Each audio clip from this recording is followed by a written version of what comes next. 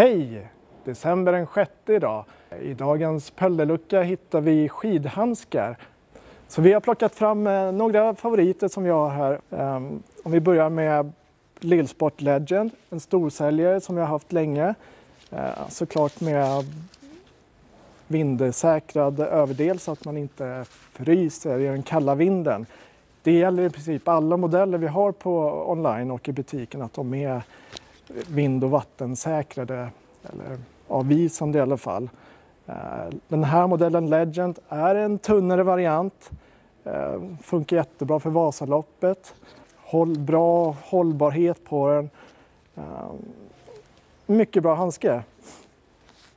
Är man frusen och behöver gå upp lite i tjocklek så har vi Hestra Comfort Tracker. Finns som blå handske och finns som svart handske som jag har här. Den är ny för säsongen.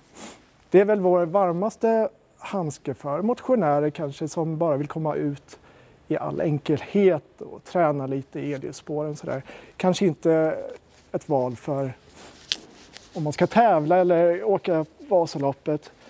Eh, då den, är, den är rejält varm eh, och inte lika smidig som eh, Legend en mycket skön eh, fodrad insida som är borstad. Eh, och vi kan inte prata handskar utan att nämna våra egna pelderhandskar eh, från Lillsport.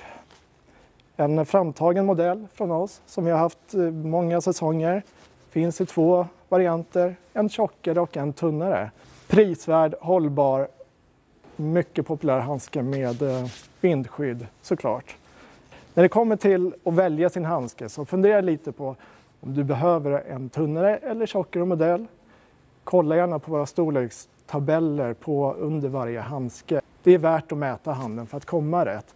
Tänk på att handsken ska gå åt det tajtare hållet och inte tvärtom. Det var dagens lucka helt enkelt. Välkommen in till Pelle Sport.